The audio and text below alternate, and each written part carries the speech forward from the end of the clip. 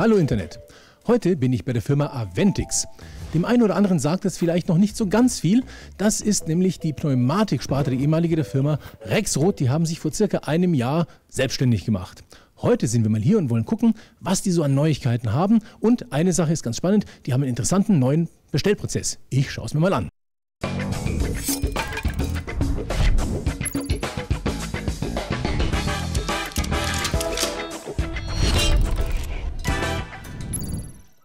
Heute möchte ich mir nämlich nicht nur Bücher bestellen, Sie kennen das alle, das geht schnell im Internet, sondern eine ganze Pneumatik.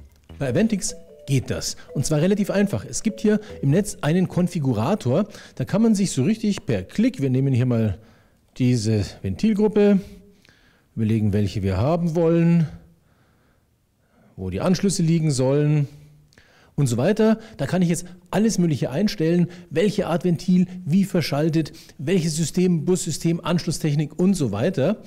Das System ist intelligent, es weist mich darauf hin, wenn ich Sachen noch nicht richtig konfiguriert habe. Hier weiß er beispielsweise gar nicht, was da rein soll. Ich suche mal ein Ventil aus, 5.2 beidseitig betätigt, dann habe ich hier auch das Schaltbild dazu. Sehr spannend, es wird an der Stelle dann auch gleich ein Preis berechnet und mir ausgegeben. Ich weiß also immer, in welchem Preisrahmen ich mich bewege. Wenn die Bestellung fertig ist, erhält man ein PDF mit allen nötigen technischen Daten, äh, Stücklisten, Ersatzteillisten und so weiter. Ähm, was man sogar darüber hinaus erhält, ist ein 3D-CAD-Modell, das sogar im PDF eingebettet beweglich ist und ich kann mir das Ganze von allen Seiten anschauen. Natürlich kann ich mir die CAD-Daten auch runterladen für mein jeweilig passendes CAD-System, das ich zu Hause verwende und dann hat der Konstrukteur es ziemlich leicht, diese Pneumatik einzuplanen. Faszinierend. Kaum bin ich von oben runtergelaufen hier in die Fertigung, ist mein Auftrag schon unten. Jetzt gucken wir mal, wie der gemacht wird. Bei mir ist der Herr Becker. Herr Becker, Sie sind hier Fertigungsproduktionsleiter für den Bereich. Sagen Sie mal, was passiert hier? Sie haben ja jetzt hier die Konfiguration und gemäß dieser Konfiguration bauen die Mitarbeiter jetzt das Ventilträgersystem für den Kunden. Das geschieht in drei Schritten. Zunächst haben wir die Grundblockmontage, dann die Ventilmontage und nachfolgend prüfen wir das Gerät auch auf Funktion und Dichtigkeit. Manchmal denkt man ja, das wäre viel heiße Luft um nichts. Aber so ein Test ist gerade bei der Pneumatik natürlich besonders wichtig. Wir wollen ja keine Leckagen haben. Also, los geht's. Go!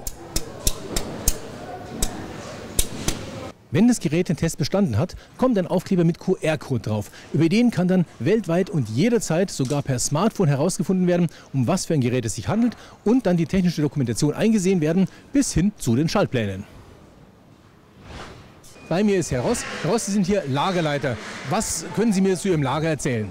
Ja, wir haben ein Lager, das auf ungefähr 3000 Quadratmetern mehr als 45.000 Stellplätze hat. 45.000 graue Kisten können wir hier lagern. Wir bewegen im Moment äh, um die 500 Kisten in einer Stunde. In einem Zweischichtbetrieb gehen damit ungefähr 10.000 Kisten äh, ihren Weg rein und raus aus dem Lager und das jeden Tag. Und wie bei jeder guten Internetbestellung geht das Ganze natürlich am Ende auch noch in den Versand.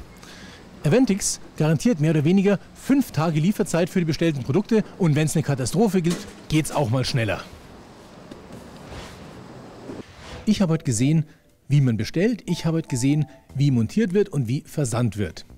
So, jetzt möchte ich aber wissen, was habe ich da eigentlich genau bestellt? Was habe ich mir genau schicken lassen? Bei mir ist der Herr Tesch. Herr Tesch ist Leiter Produktmanagement für den Bereich der Ventiltechnik hier bei Aventix.